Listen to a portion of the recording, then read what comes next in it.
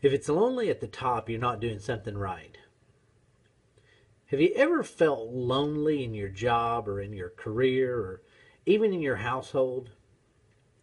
One of the most common mistakes that people make is expecting that in order to be on the top, you have to be lonely.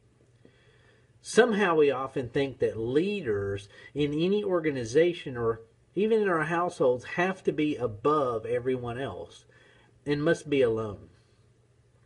Loneliness isn't a requirement of leadership.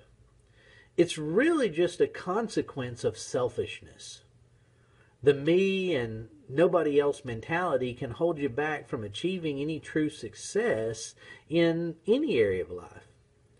You know, if you're a leader and you feel isolated, then you're doing something wrong. Great leaders should be surrounded by people who are helping them get to the top, but who are also excited about coming alongside the leader on their journey. You know, this reminds me of the difference between a travel agent and a tour guide. A travel agent will send you on a journey alone. They're going to give you directions, but really only from a distance from the safety of their own comfort zones, they're going to try to help you out best they can, but there's really no risk involved, and neither is there any true reward. A tour guide, on the other hand, will walk with you step by step. The goal of the tour guide is to lead you on a successful trip and, of course, be there with you all along the way.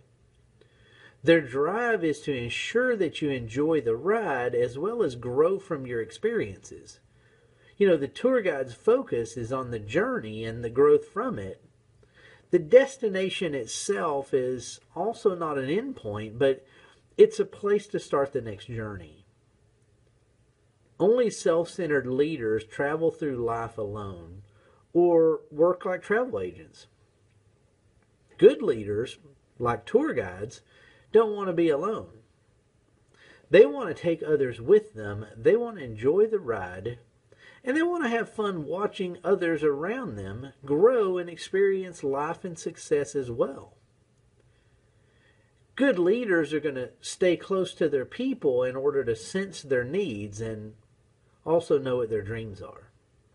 These leaders are going to define success as taking all of their people to the top.